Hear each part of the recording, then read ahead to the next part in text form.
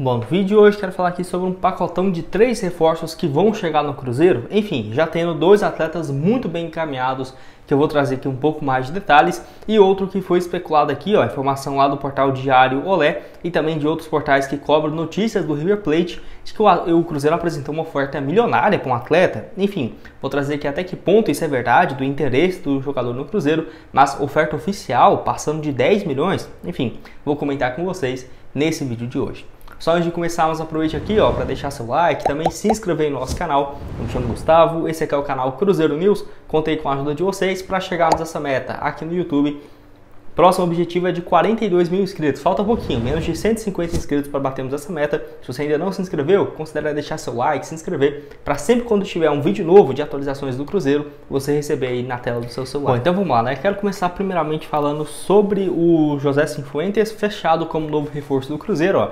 Informação lá do César Luiz Melo de que o Cruzeiro, então, é, no caso, fechou a sua contratação teve a opção de ir para o futebol turco, mas decidiu vir para o Brasil e será então emprestado por um ano com opção de compra, tá? Então José Cifuentes, muito boa contratação. É, eu lembro que eu estava até viajando, né? É, no caso de férias lá em Maceió e aí eu vi essa informação de que o atleta teria então possibilidade de chegar no Cruzeiro. Eu fiquei bem surpreso porque ele tem um valor de mercado bem alto, pelo menos de acordo com o site Transfermarkt, seria mais do que 46, quase 50 milhões de reais. E chega com essa opção de compra, até o momento que eu estou gravando o vídeo não está oficializado esses valores, mas a tendência é que esteja próximo de 2 milhões e meio de dólares, tá? Se tiver mais informações, eu trago aqui para vocês. Enfim, acho um atleta muito interessante, ele assim, não jogou com muita frequência, por exemplo, nos últimos anos, mas pela média do futebol europeu e da MLS, que são os dois clubes no qual ele já atuou, até que foi muito bem, viu? Eu diria que a média de jogos, tá? Vou deixar aqui então para vocês os números do José Cifuentes nessa última temporada pelo Rangers, onde tem números baixos, mas ele só jogou tipo assim sete meses, né? Ele chegou em julho para agosto e ficou até final da temporada de 2023. Então, nesse período, né, nesse recorte bem curto aí, o Cifuentes jogou 20 jogos, não marcou nenhum gol e deu duas assistências. O Rangers que é um time bem, é, bem interessante, né? É os top 2, né? O Rangers e o Celtic lá da, da Escócia jogou inclusive eliminatórias da Champions League e Euro. Então ele jogou competições importantes pela equipe do Rangers na temporada passada.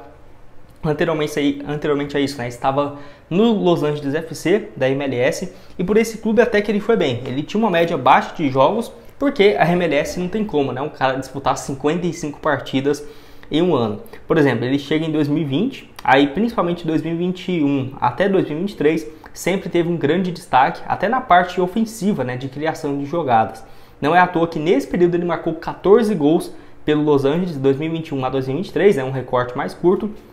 Além desses gols, né, também contribuiu com outras 17 assistências em um pouco mais de 89 jogos. Então teve um desempenho realmente bem bacana pelo Los Angeles FC, não sendo propriamente um primeiro volante ali só de marcação, ele pode ser esse cara, mas eu acho que o Lucas Romero faz mais essa função pelo lado direito e o José Cifuentes podendo jogar também pelo lado esquerdo ou pelo lado direito, sendo uma opção bem equilibrada, um cara que ataca e defende muito bem. No futebol europeu não conseguiu marcar nenhum gol, mas mesmo assim teve uma participação razoável pelo Rangers, começa muito bem e acaba perdendo então um pouco mais de espaço.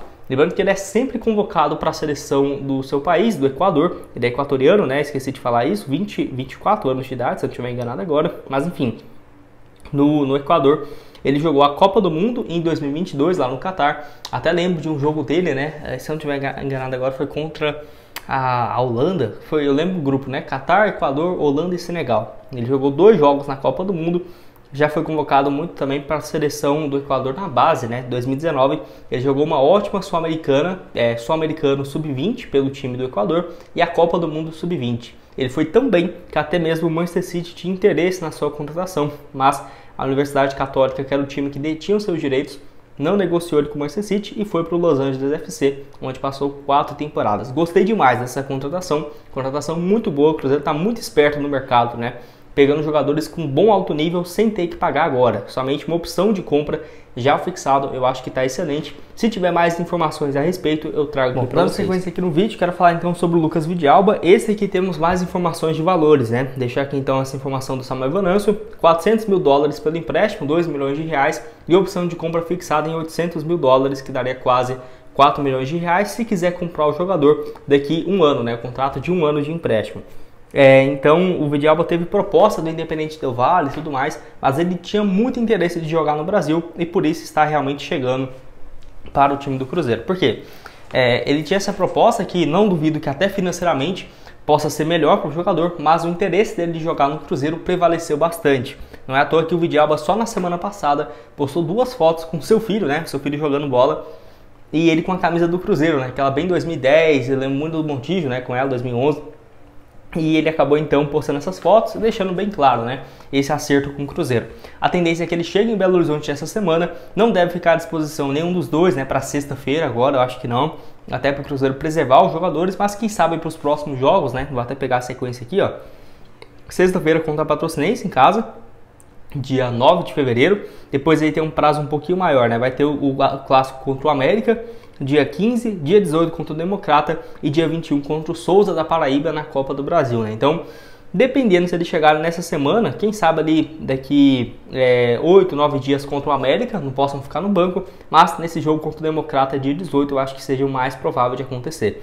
O Lucas Vidalba que, para quem critica bastante, né? Ah, esse cara só traz sugestão inviável para o Cruzeiro, né? E tudo mais. Eu já tinha falado dele há um pouco mais de 40 dias atrás, indicando como opção para o Cruzeiro, e o Cruzeiro foi lá e realmente contratou ele, né? Então, essas dicas que eu trago aqui para vocês, sugestões de contratações, é muito mais nesse sentido, né, de atletas que poderiam chegar e ser viáveis, e foi o que aconteceu com o Lucas Vidalba.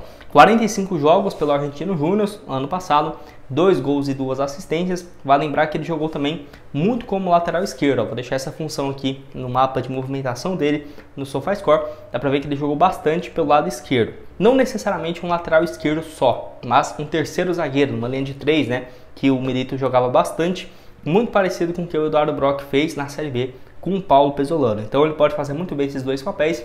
Nota média sensacional no SofaScore, 7.12, foi realmente muito bem. Gostei demais da contratação dos dois. José Cifuentes e Vidalba não esperava esse nível de contratação pelos moldes que foram ainda muito dentro da realidade.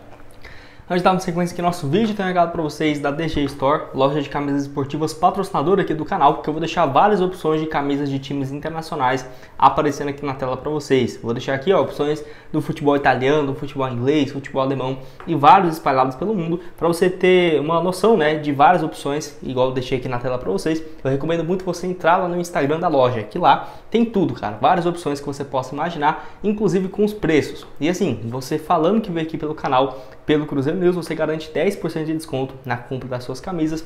A partir de duas unidades, você vai ter então frete grátis para todo o país. E se você é de Belo Horizonte ou região, tem uma loja né, em Belo Horizonte aí da DG Store. Só você agendar o horário e fazer uma visita com várias opções de camisas para vocês, é, shorts, várias opções de jaquetas, corta-vento, tênis, várias opções bem bacanas lá na DG Store. O link vai estar aqui embaixo então na descrição do vídeo. Não se esqueça, né? A partir de duas unidades, frete grátis para todo o país e 10% de desconto falando que veio pelo canal. Opções a partir de 90 reais na promoção e ela personalizada com seu nome, com o número oficial do time, a partir então de 150 a 160 reais.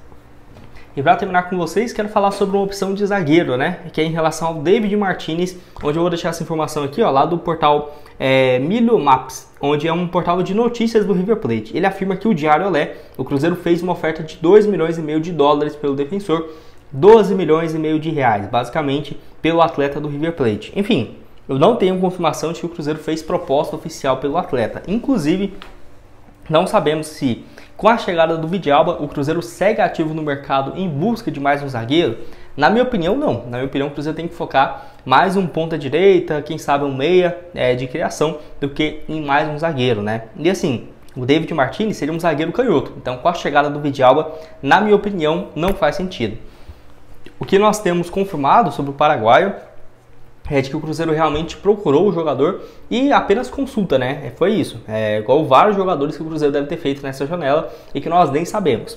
É um atleta que é, é, atua pelo esse lado esquerdo no River Plate, tem contrato até o final desse ano e não deve ser aproveitado pela equipe. Seria uma boa oportunidade de mercado, mas sinceramente já tendo o Vidalba, na minha opinião, não acho que seria tão interessante assim. Melhor dar espaço para os atletas da base, para o João, João Marcelo, para o Juan Santos, para o Pedrão, enfim.